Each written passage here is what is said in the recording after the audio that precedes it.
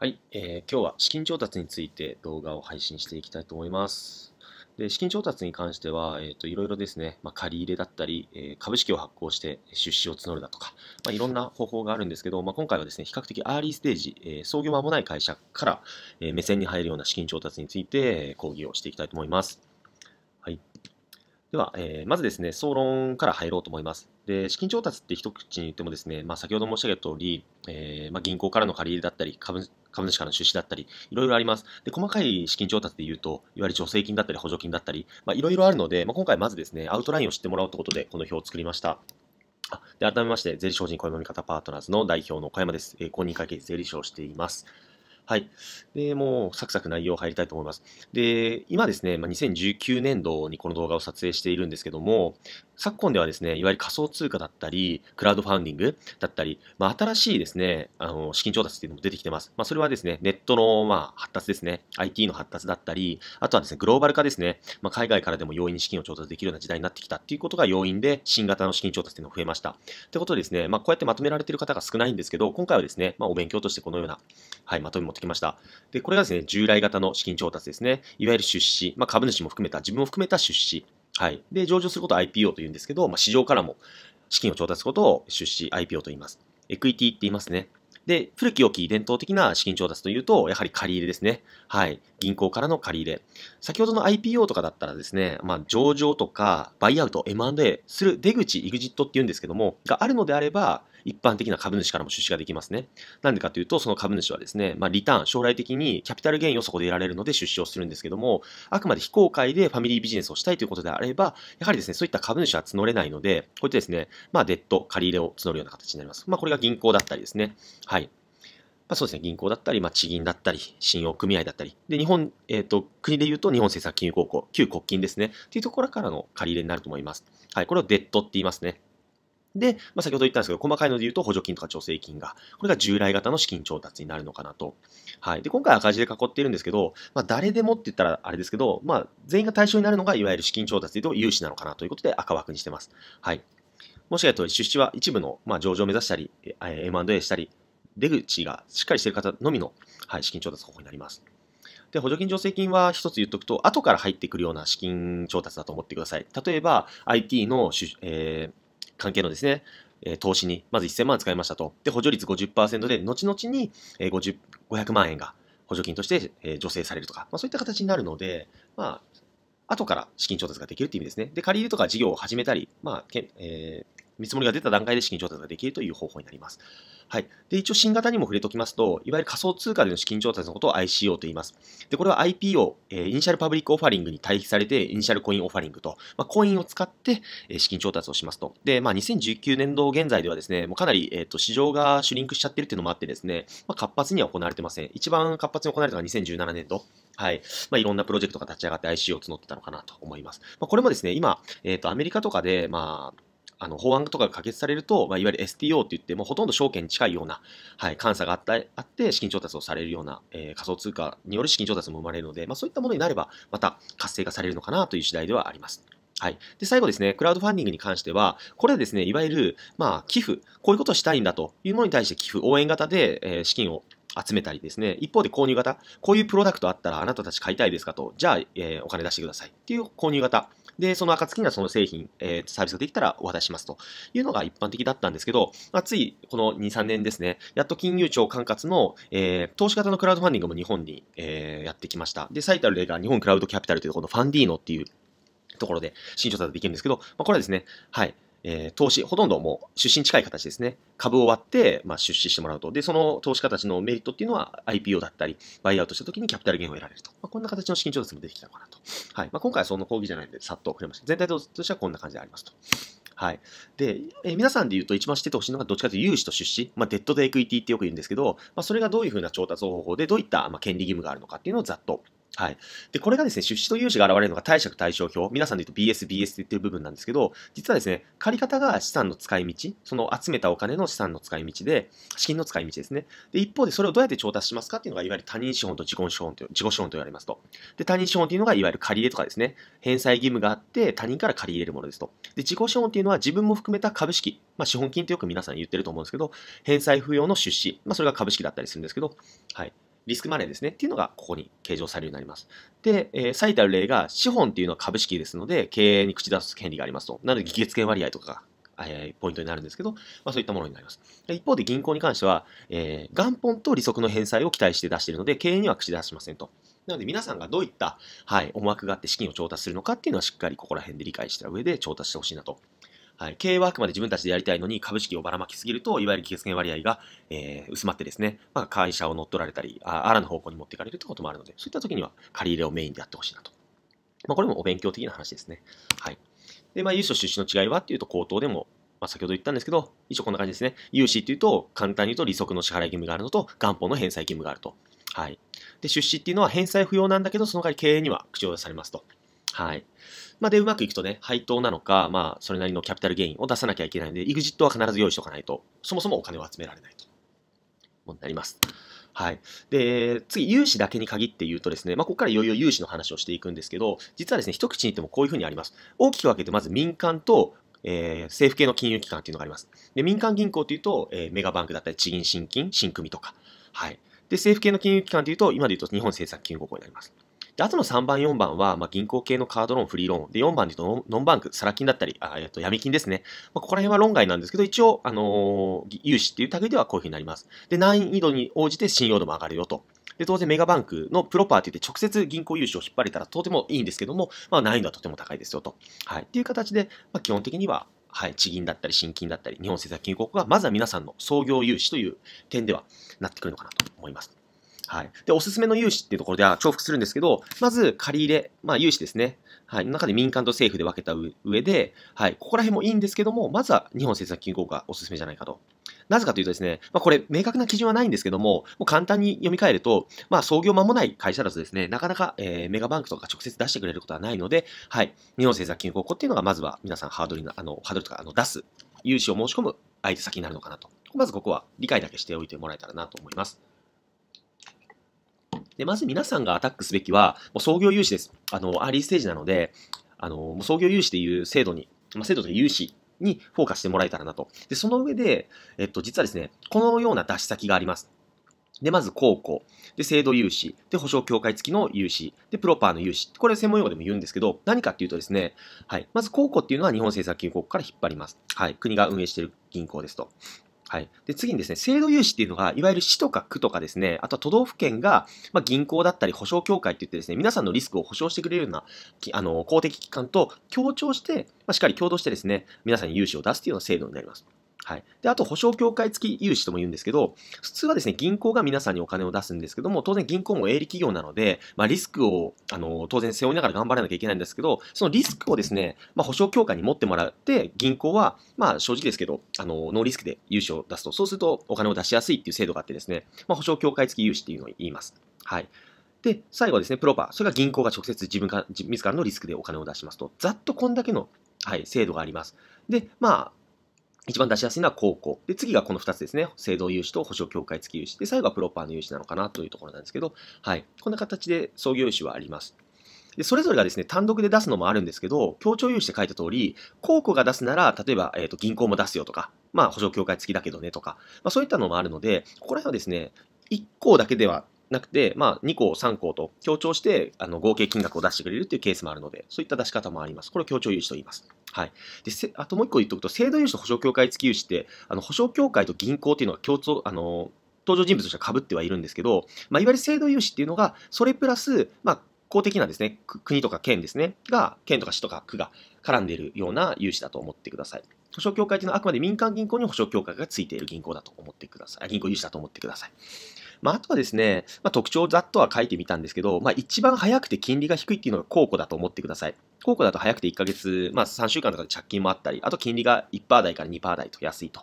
で、制度融資も金利が安くて、まあいいんですけど、まあ、ちょっとデメリットがあってですね、保証協会っていうのを挟んでる関係上ですね、あの、1ヶ月ほど審査が長いです。はい。なので、この1.5ヶ月から2ヶ月っていうのが、ちょっとだけあのデメリットかなと。で、保証協会付きも同じくですね、まあ、当然銀行がリスクを負って保証協会に審査してもらうので、まあ、プラス1ヶ月ぐらいかかる。これも2ヶ月ぐらいかかります。で、難易度は高めかなと。で、プロパー、銀行が直接出しますのは難易度が高いですよと。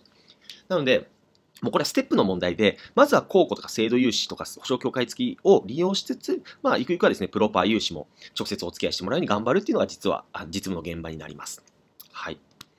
で、まあ、なぜね、公庫公庫って言ってるかというとですね、もう実は明確に理由があります。で、まずですね、1個目。はい。もうそもそも制度の、えー、設立趣旨はですね、中小企業の支援を目的として、まあ、国が運営しているっていうところがあります。はい。で、そうであるっていうところもあるんですけど、なのでですね、はい。提出の書類だったりフローがもう明確です。もう、えっ、ー、と、特に創業計画書っていうのを書くことになるんですけど、それに関してはもう、えー、様式があります。はい。それに従って埋めるっていうのもあったりですね。まあ、比較的わかりやすい。はい。であとですね、まあ、国が運営しているので、まあ、公的機関でですね、認定支援機関っていうのがあるんですけど、まあ、そこを通せばですね、まあ、さらに審査が通りやすくなったり、まあ、そうやってですね、いろいろ工夫できる余地があるっていう意味でも、はい、おすすめかなと。で、あと最大の、まあ、メリットっていうのが、いわゆる無担保無保証って言ってですね、通常銀行融資だったりするとですね、社長の保証を入れてくださいとかですね、あとは不動産、担保を入れてくださいっていうのが通例ではあるんですけど、この日本政策級高校の創業融資っていうのに関してはですね、あの、無担保無保証でいけるので、まあ、極端な話、会社だけの借り入れになります。なので、まあ、返済が滞ってしまっても最悪会社を潰せば終わりだと。っていうところで、まあ、比較的、まあ、リスクがですね、まあ、低くて、比較的借りやすくて、はい、事業を進めやすいのかなと。はい。まあ、あとはですね、まあ、いきなり民間銀行は難易度が高いっていうのもあって、逆説的に効果を進めたっていうのもあります。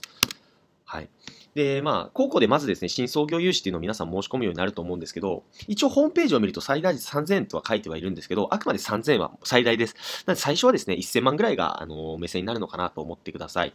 で、返済期間とかですね、金利も、まあ、こういうふうに、あの、ホームページは載っているんですけども、まあ、ざっくりですけど、1000万借りたらですね、はい、年利が2%、で、利息がだから年利で 20, 20万円ぐらいです。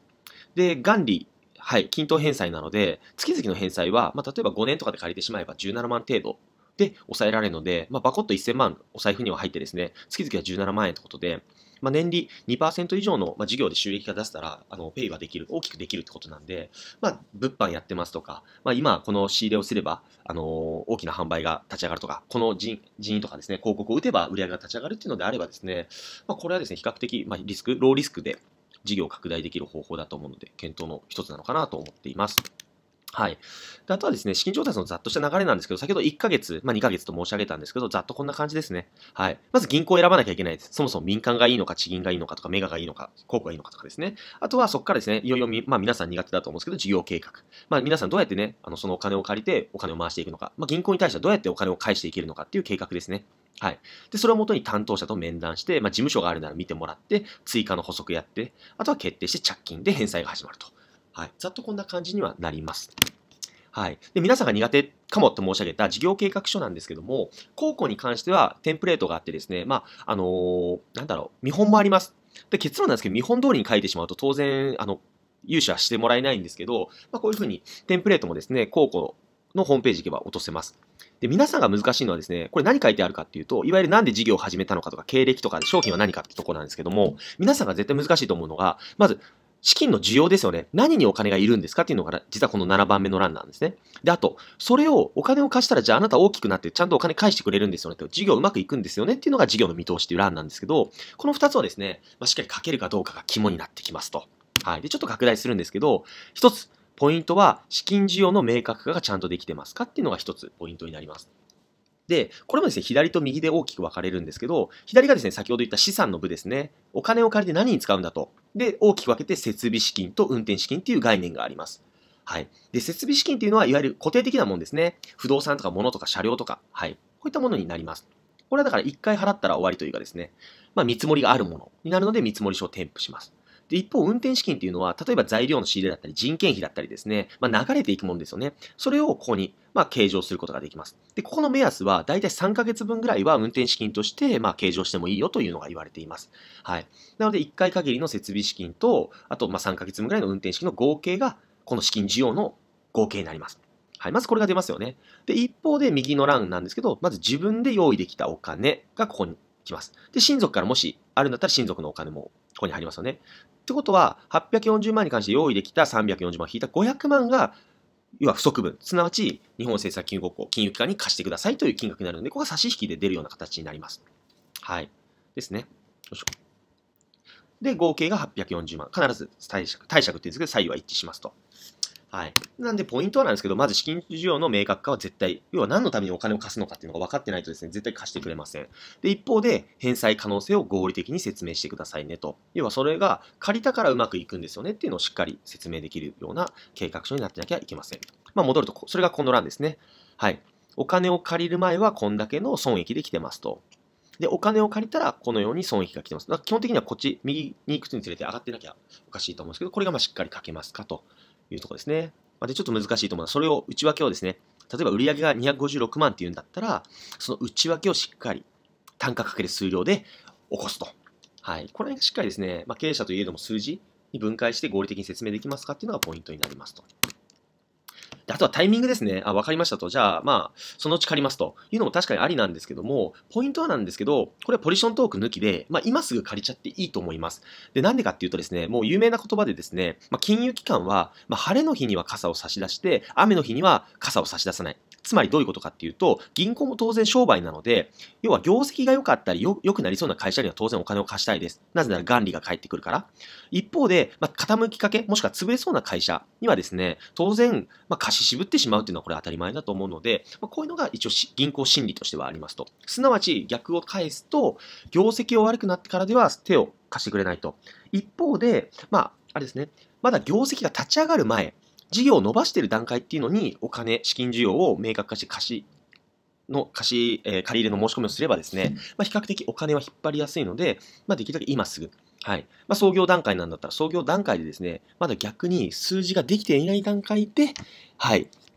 えー、資金を申し込むと。っていうのが、まあ、比較的王道スタイルだと言われています。はい。で、一方で、これちょっと注意してほしいことというか、老婆心ながらのアドバイスなんですけど、一方ですね、この2つ注意してほしいなと。じゃあこれですね、まあ、事業計画慣れないながら、まあ、要は人生で1回、2回かある中を、中のですね、事業計画を自分で書きますかっていう部分と、あとは社長の本当の仕事、まあ、その計画書を書いてお金を引っ張るのか、それとも営業を回るのか、はい。っていうところで、ご自身のですね、それをやった時のパフォーマンス、コスパと、あとはそれができますかできませんかっていう部分で、まあ、ここら辺を考えて、まあ、専門分野以外に関してジャッジしてほしいなっていうのが本当に老婆心ながらにあります。はい。で、そういった時にですね、じゃあ外注しようっていうのがあると思うんですけど、これも一つアドバイスがあります。もし頼むならですね、まずこれがあるかどうかっていうのを一つ注意しておいてほしいですね。もしこういう金融関係の依頼をするならですね、経営革新と支援機関っていうのがありまして、いわゆる認定支援機関、認定支援機関というんですけど、はい。要は国がこういったですね、まあ、金融仲介をするには、あの、公的な機関を設けてます。で、それが認定支援機関なんですけど、まあ、どういったメリットがあるかっていうと、当然なんですけど、国がお墨付きを与えているので、まあ、適切な指導だったりですね、まあ、銀行先を紹介してくれるっていう意味で通過率がアップする。で、あと、国もですね、こういったところを通すとですね、まあ、金利、まあ、あの、その時のレートによるんですけど、金利、貸し出し金利の削減を測ってくれます。っていう意味で、あの、使ってもいいのかなと思います。なので、よくネットで、あの、広告とかでググるとですね、まあ、あの、ファイナンシャルプランナーとか中小企業診断士とか、えー、会計税理士、弁護士が出てくるんですけども、それでかつ認定審議官なのかどうかっていうのは絶対チェックしてもらいたいですね。はい。で、まあ最後、弊社で言うとですね、まあ、ちなみになんですけど、融資サポっていう商品があって、融資をサポートする商品がありましてですね、まあ認定支援機関でうちはやってます。で、うちの強みがですね、えっ、と、税理士法人かつ公認会計試験なので、まあどっちかっていうと、税務だけじゃなくて会計とか経営とかマクロなこともあの指導できますと。はい。で、実績も結構ありましてですね、まあ、年間100、多いとこで300ペースでやってるので、まあ、ノウハウがあって、事業計画書のテンプレだったりですね、あの、想定問答集とかもちゃんとあるので、まあ、比較的通しやすいのかなとあともう一個はですね、あの、エクイティもやりますって書いてあるんですが、あの、これあくまで融資借り入れだけなんですけど、もしですね、会社が上場したりとか M&A も見据えてるっていうのであれば、そっちの相談も当然公認会計者に乗れますっていうところが売りですね。はい。で、サービス内容っていうのは事業計画書の作成支援だったり、面談ロールプレイング、まあ、そこら辺のノウハウを垂れ流しますと。っていうところで、着手5万の成功報酬5%で一応やってはいるんで、はい、気になった方は最後問い合わせがあるんで、してもらったらなと。で、最後おまけなんですけども、まあ、大体ですね、資金調達っていうとこんだけの全体図があります。まず事業フェーズに応じて、創業準備、創業期、成長期、安定期、いわゆる衰退期。まあ、衰退はないと思うんで、第二創業だったら IPO、M&A って、これ製品ライフサイクルって言うんですけど、この事業のまあ、成長フェーズに従って、実はこんだけの金融ラインナップがありますよと。まあ、ここら辺、見取り図であるだけでも一つ、はい。いいんじゃないかなと思います。で、まあ、赤で囲ってるのが、いわゆるそのタイミングでのおすすめの資金調達になりまして、オレンジはまあまあいけるんじゃないかというフェーズになって、まあ、皆さんで言うと、特にね、創業準備が創業期だと思うんで、やはり公庫だったり、地銀新金、あとは出資だったらエンジェルとかですね、ファンドだったらシードから入れてもらってください。シードから入れてくれとか。で、あと補助金助成金もいいんじゃないかとか。これはでも事業が始まってからなんで、ここになりますね。はい。あと ICO とか先ほど言った STO とかはここに入ってきますと。まあ、最初にお金募ってもいいんじゃない。あとはクラウドファンディングに関してはここでもいいんじゃないかなと。はい。まあ、これ全部できるので、まあ、あの相談していただいたらなと思います。まあ、クラウドファンディング、あえて字で書いたんですけど、クラウドファンディングはちょっと面白くて、あくまで資金調達だけじゃなくてですね、まあ、それ、あの、クラウドファンディングしてくれた人は、すなわち応援者にもなるので、まあ、広めてくれたりですね、宣伝活動もしてくれるっていう意味で、ある意味広告活動も兼ねたお金集めってことで、普通はお金を出して広告をするのに、お金を集めて広告もしてくれるという、ちょっと謎の、はい、レバレッジがかかるので、これは一つおすすめなのかなと思っています。はい。まあ、ちょっとざっとね、駆け足だったんですけど、まあ、こんな感じで資金調達っていうのは学術的にはありますよと。はい。で、私、これ LINE アットで、あの、相談受け付けて、これ無料で受け付けてるので、まあ、もしですね、相談等々あれば、あの、ざっくばらんに聞いていただけたらなと思います。はい。じゃあ本日は資金調達総論編をお送りしました。最後までご清聴いただきありがとうございました。